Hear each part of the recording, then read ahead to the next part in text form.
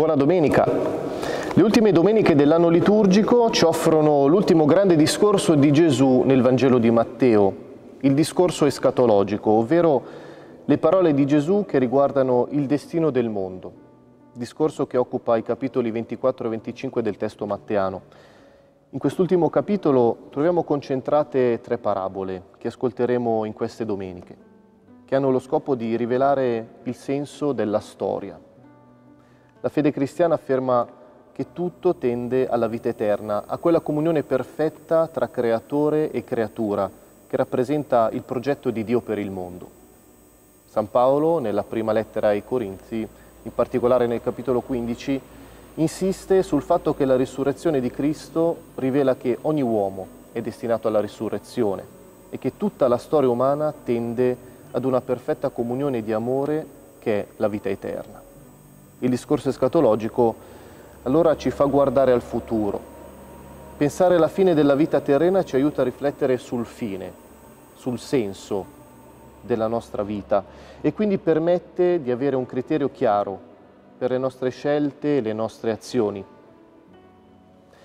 Se stiamo andando verso l'incontro con Cristo, questo incontro va preparato.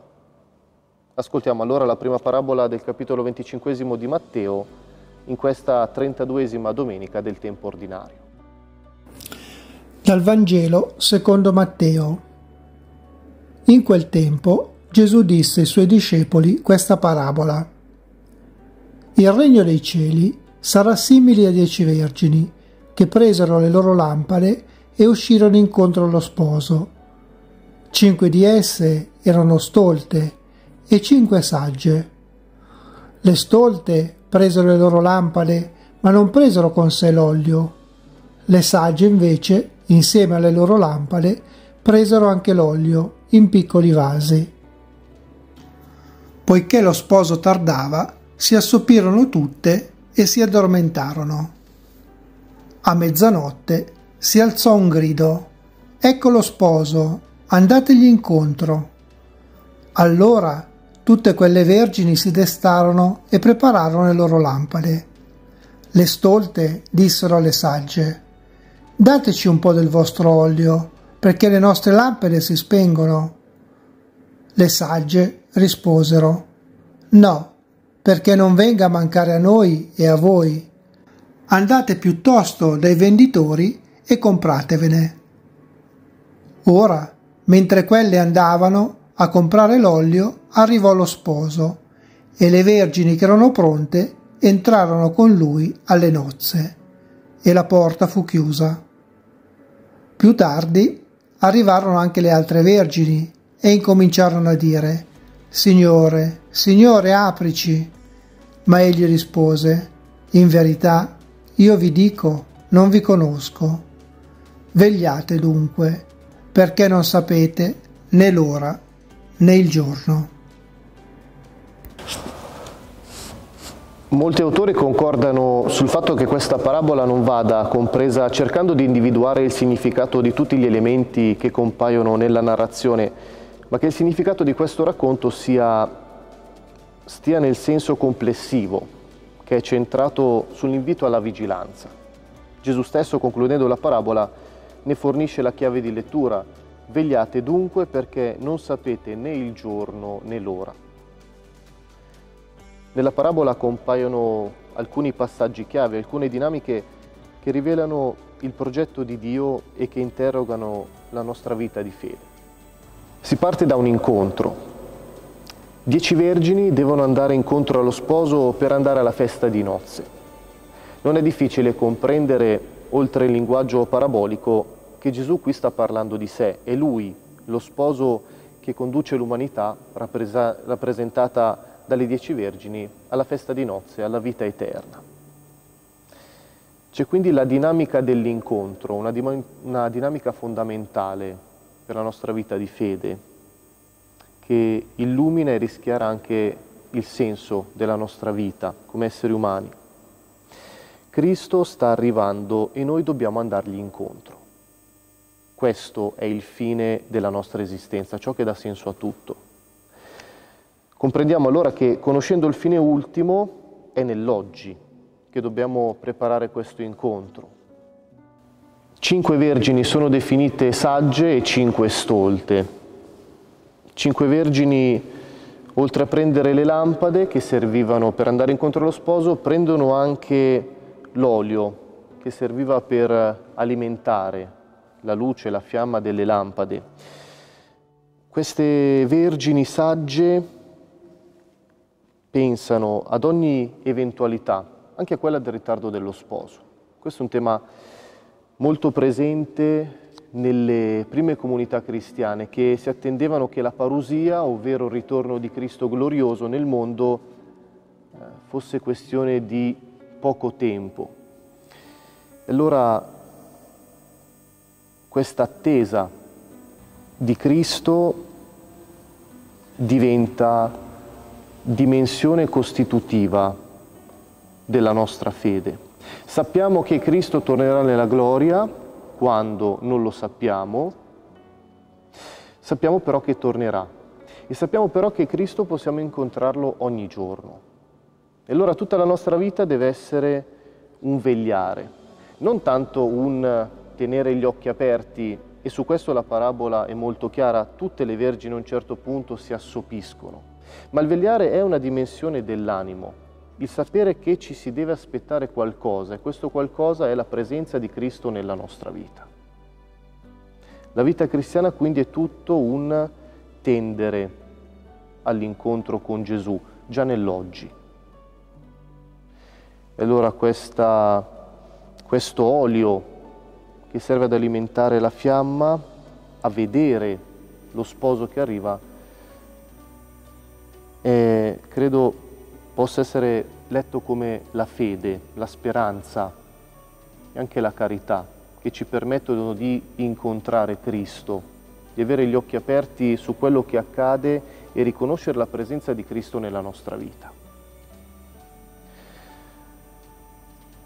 Vigilare, avere il cuore sempre pronto ad andare incontro a Cristo e quindi una dimensione fondamentale della nostra fede. Mi viene in mente un, un, esempio classico, quello dei monaci che si salutavano dicendo così, memento mori, ricordati che devi morire.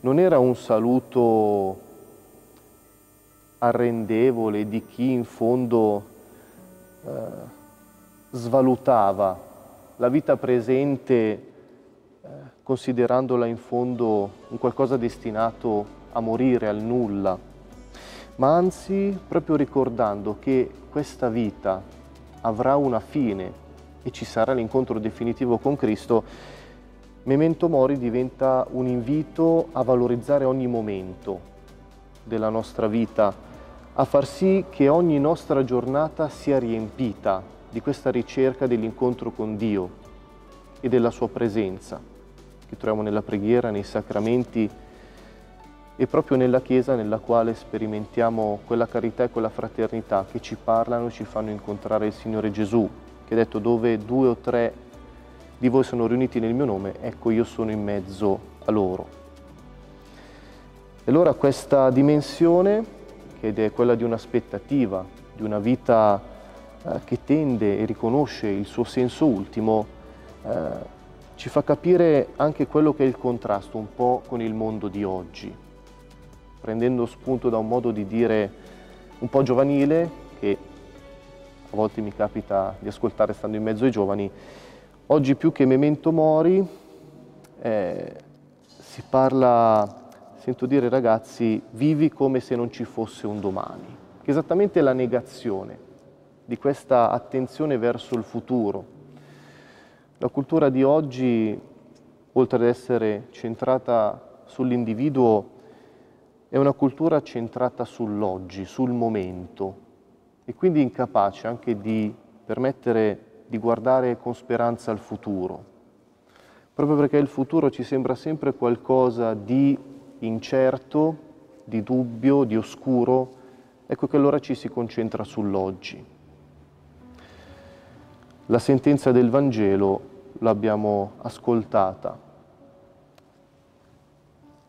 se si vive pensando solo all'oggi si è stolti, perché alla fine manca, viene a mancare quella luce, quella gioia, quella speranza, anche quella capacità di vedere oltre il buio del futuro.